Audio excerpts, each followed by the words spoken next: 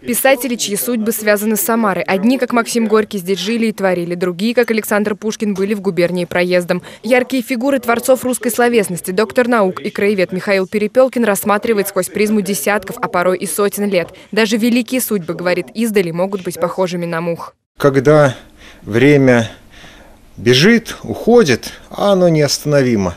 Самые крупные фигуры, в том числе и писатели, превращаются вот в этих самых издали, похожих на мух. И тогда требуются усилия специалистов и требуются специальные приборы для того, чтобы вот в этих самых мухах рассмотреть очень неординарные э, фигуры, с своими захватывающими, иногда радостными, иногда трагическими, иногда э, там еще какими-то судьбами.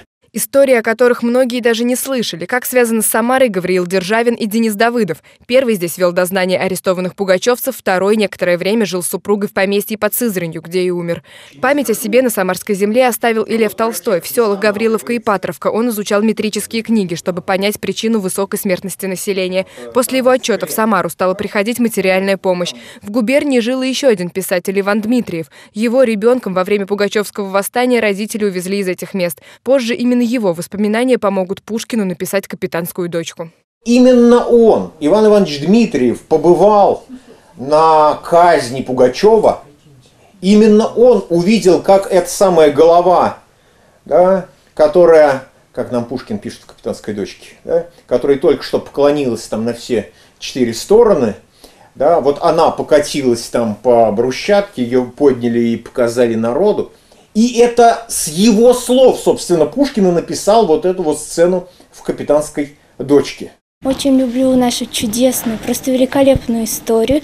И, конечно же, хочу постоянно узнавать что-то новое. Так сказать, копнуть поглубже, чтобы дополнить свои маленькие знания о нашем большом и замечательном городе. Такие встречи необходимо проводить. Город открывается для всех с какой-то новой стороны. Лекции по истории города проходят в пресс-центре «Самарской газеты» каждый вторник. Следующая состоится 4 октября в 19.00. Экскурсовод Катерина Ревинская расскажет жителям о мистической и подземной Самаре.